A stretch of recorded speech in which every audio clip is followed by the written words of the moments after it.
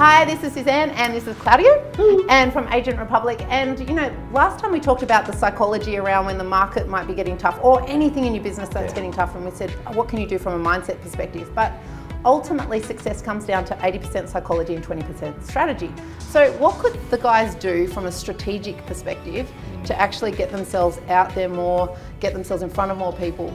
yeah, I, I, think what this is what you need to do in this market yeah. right now.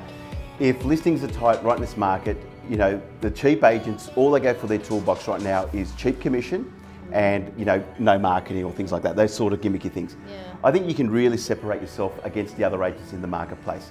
Firstly, think of it like this. You would probably see if you had like two red pens right here and this guy was like $2, this guy was a dollar. I mean, at the end of the day, who are you going to go for? Really, it's going to be about going to the cheap guy because there's really is no difference. I'll go for the dollar. If you're a Mont Blanc, right, now a lot yeah. of you agents out there, right with those, you're a Mont Blanc and you had a red pen and this is worth like $500, this is worth like a dollar.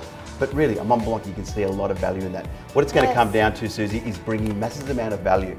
A couple of things that I would probably do in this marketplace to separate yourself against the competition, all those degrees of separation. Yep. First off is, by adding more value, is you could do if you haven't got many listings right now in this marketplace, offer to open homes on a Saturday.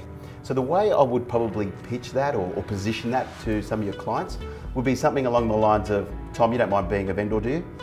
Yeah, he's nodding his head, he's saying good, good. So for example, Tom, it's Claudio calling here. Um, I've been thinking a little bit about your home and there's another five homes in Neutral Bay right now that are in direct competition to yours, and I really want to separate your home against the other homes.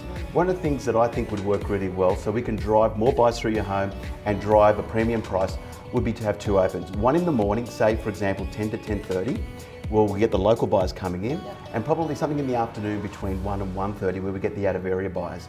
So we're getting both buyers coming in, and even those buyers that come in the morning will probably come for a second inspection with a loved one or a family member to look at that property. And all of a sudden, by that afternoon, Mr. Tom, our vendor, you could be getting offers on your home. But what is it doing against the other competition? They're all doing one open right now. Why don't you offer two? Mm. And then position it in a way that actually allows the vendor to understand that this is a benefit to me because they're looking for the feature and benefit in all of this. Yeah. So there is just a, one degree of separation that you could add, but I would say, Susie, it's all about adding massive amount of value. And I think the other thing too is it's about being, you know, look at your marketing as well. Like marketing that actually connects. So think about your ideal client rather than just putting out the mass-produced generic, I'm a real estate agent marketing, which everyone is doing. Start to look at your marketing material and say, how can I be a bit more unique and how can I stand out? And again, how do I add value? So it's looking at, think about your ideal, your ideal vendor or whoever you want and say, okay, this is the person that I really want. What would speak to them? What would it connect with them? Because people will connect with you first emotionally, then they back it up with logic. So you want to make sure that you have both. And you mentioned before about features and benefits. Mm. So you've got to make sure that you're covering Absolutely. both. Yep. Yeah, without a doubt.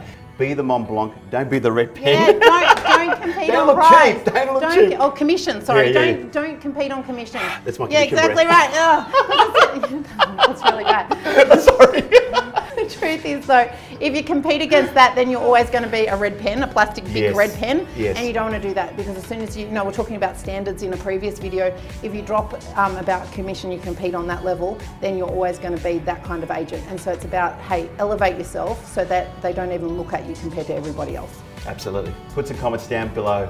See you next time. So if you liked this video, make sure you share it. And where can the guys find us? Facebook, Instagram, Twitter, and LinkedIn. And also too, stay tuned because we will be launching our Agent Republic podcast and we'll be coming to you live every morning 5 a.m. Um, on our Agent Republic Facebook page. Don't forget to be awesome.